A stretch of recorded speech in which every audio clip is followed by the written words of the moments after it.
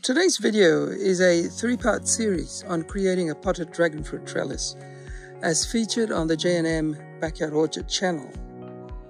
Part 1 is about timber selection. In this segment, the focus is on choosing the right timber for the trellis. The type of wood used can significantly impact the trellis's durability and overall appearance. Factors such as weather resistance, strength, and aesthetics play a role in making the right selection. Part 2 is about trellis construction, and here the video covers the step-by-step -step process of building the trellis. From sizing and cutting the timber to assembling the framework, the viewers will learn how to create a sturdy structure that will support the dragon fruit plants as they grow. And part 3 is about soil preparation and planting. This final part showcases the essential steps for preparing the soil in the pot. Proper soil composition, drainage, and nutrients are crucial for the health of the dragon fruit plants. Additionally, viewers will see how the trellis is populated with four dragon fruit plants propagated from the American Beauty cuttings.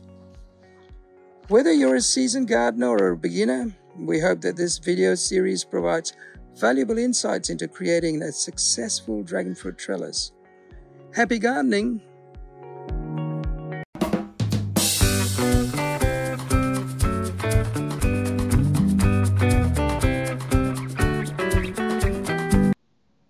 We started growing dragon fruit about three and a half years ago with the yellow dragon fruit variety. We did our research on Google and followed Richard on the YouTube Grafting Dragon Fruit channel. If you'd like to follow Richard, we provide the link to his YouTube channel in the description below. Why yellow? Well, the yellow was touted as the sweetest variety. We managed to buy some cuttings of this variety at that time, thought to be the Ecuador Palora. The next task was to make a suitable trellis. So, we headed to the local hardware store, Bunnings, and found dressed pine timber, which is an indoor timber.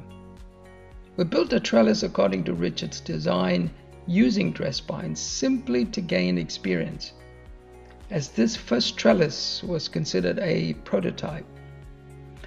So this trellis that you see in the video is nearly three and a half years old and has provided us with lots of fruit but it's on its way out. We have since found out that the variety we are growing is a Colombian Palora, thanks to Kevin at Forest Dragon Fruit Farm in Forestdale, south of Brisbane. Now, Kevin has supplied us with cuttings of a number of varieties over the years, including our prized Ecuador Palora that you see here. This trellis is about a year and a half old, and the fruits are more than double the size of the Colombian Palora.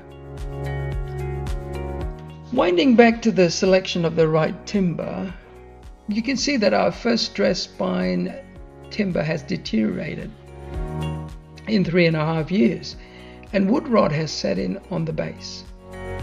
The trellis is being held up by tie ropes and the stake. We will see it through till the end of the current crop of fruits and retire the whole trellis as we are replacing our Colombian Palora with the new trellis comprising American Beauty dragon fruits.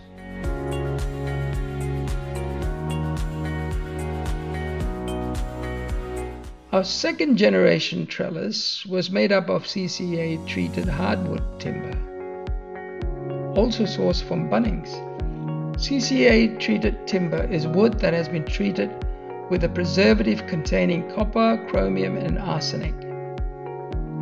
Arsenic does not sound good, but we bought it and made the trellis and mitigated the risk of arsenic contamination by lining the pot and base with builder's plastic as you can see here to separate the root of the dragon fruit from the wood base.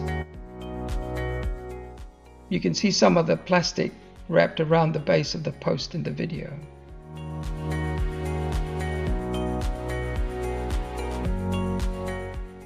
Our third generation of trellis was made out of garden wood stakes of various sizes, which we found from Bunnings.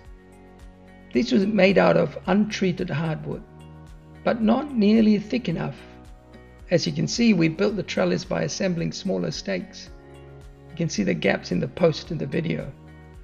This configuration seems to work and has lasted nearly three years, but it is bearing up under the strain.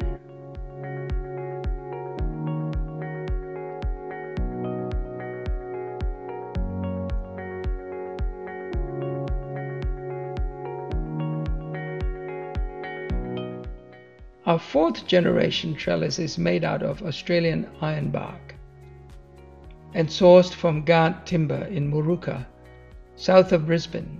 We have placed a link to their website in the description below. Russell at Garde Timber was very helpful in also right sizing the timber pieces, including the posts. So our current design of a trellis looks like this now.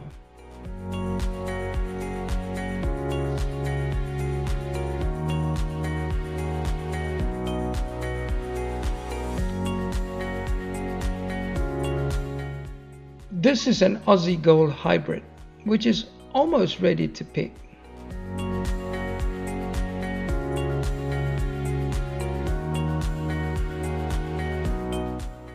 And this is an American beauty. Most of our dragon fruit have commenced their third flush of fruiting at the beginning of autumn here. In summary, we advise aspiring dragon fruit growers to opt for good, untreated hardwood when constructing trellises. In part two of our episode, see link in the description below, we'll provide detailed instructions on constructing these trellises. For those interested in our videos, please consider liking and subscribing to our channel to stay updated. Thank you for watching.